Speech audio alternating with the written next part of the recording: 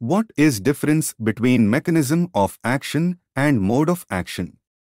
Mechanism of action, MOA, refers to the specific biological process by which a drug produces its therapeutic effect at the molecular, cellular, or tissue level. Mode of action, MOA, refers to the overall way in which a drug works to produce its therapeutic effect, including its route of administration, target receptors, and the resulting physiological changes.